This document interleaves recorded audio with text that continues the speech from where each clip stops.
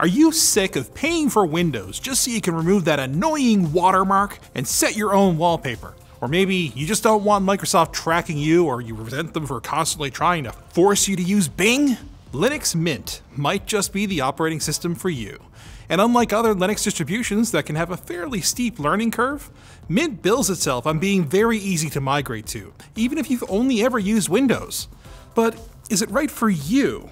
And what should you know before taking the plunge? The first most important thing to know is that Mint comes in three different variations that are officially called flavors, which, I mean, makes sense for an OS called Mint, right? You've got Cinnamon, which is a full-featured operating system and looks the nicest. Mate or Mate, which I think is what it's really pronounced, which has fewer features but is faster and more stable. And XFCE, which is even lighter than Mate. I was kind of hoping that there'd actually be flavors, you know? Like, we've got cinnamon, why couldn't we have had like, I don't know, cherry or blueberry or, or like chocolate?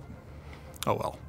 Anyway, for most people, cinnamon will be the way to go with the other two flavors more for users needing extra stability for some specialized applications or for folks who are running very low spec hardware or, I mean, just plain prefer the older style interfaces. In fact, Mint actually recommends just 4 gigabytes of RAM and 100 gigabytes of free disk space for optimal performance. So, yeah, even Mint Cinnamon is not at all hard to run on any reasonably modern computer and it can be a great way to breathe new life into an older PC that you just have lying around. Setup is also pretty similar to Windows. You just create a bootable USB, insert it into your PC, and start it up. And then you follow the instructions and you're done. But once you have it set up, what can you do with Mint, and how does it compare to Windows? We'll tell you right after we thank Manscaped for sponsoring this video. Christmas is right around the corner, and their new Performance Package 4.0 will make a great gift. It includes their waterproof and cordless Lawnmower 4.0, their Weed Whacker ear and nose hair trimmer for tricky trimming, and their Crop Preserver and Crop Reviver for your deodorizing and hydration needs. For a limited time, you also get two free gifts the Shed Travel Bag and the Manscaped Anti Chafing Boxer Briefs. Don't wait, go to manscaped.com and use promo code TECH for 20% off your order plus free international shipping.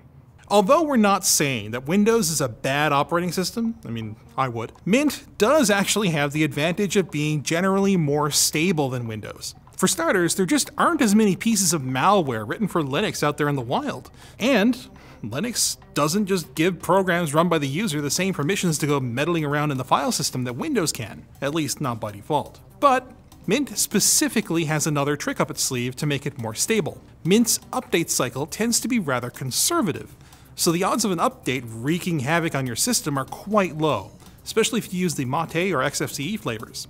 The trade off is that some of the very newest hardware or software may not work as intended if you're an early adopter, but for most casual users, it shouldn't be an issue, especially if you use Flatpaks. But it's not just about stability, it's also about usability. Mint has support for all the major modern audio and video formats. Just make sure you check the box to install the relevant codecs automatically during installation. As far as doing things outside of a web browser, Mint comes with a well-regarded software manager that lets you download tens of thousands of programs from a repository.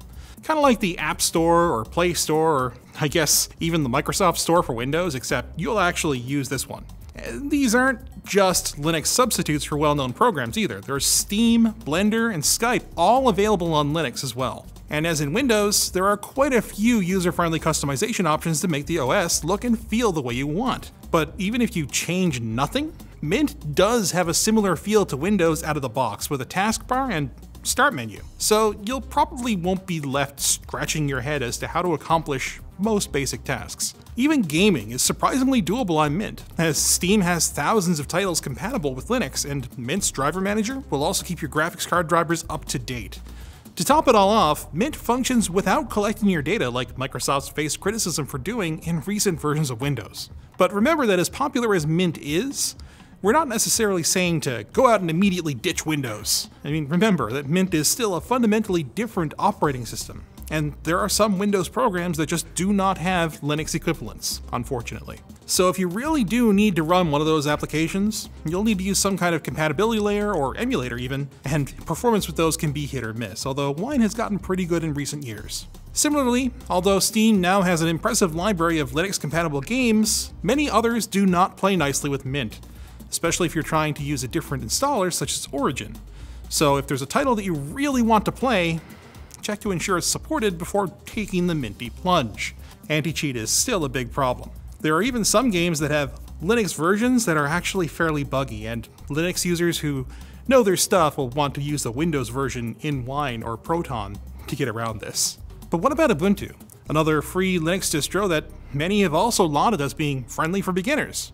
Like Mint, it's also quite popular and is what Mint is actually originally based on. But it has a few quirks that are leading us to recommend Mint instead if we were picking between the two for, you know, the beginner type of user. Ubuntu's user interface is much less similar to Windows than Mint, so it might take a little longer to get used to. And it also collects telemetry data that might make it less appealing to folks concerned about privacy. Ubuntu also has a walled garden of sorts in their software distribution platform called Snap. Downloads from Snap often take a little longer to run as they contain extra files that should allow them to run on any Linux distro. It's not a bad idea, but this means that you get less control over exactly what is downloaded to your PC. Snap is also controlled by Canonical, the company that develops Ubuntu, which has made lots of Linux enthusiasts concerned that Ubuntu might become a walled garden of sorts. So, if all of this has made you decide to hop on the Mint train, I wish you luck but don't expect it to make your computer smell better. Only RGB can do that.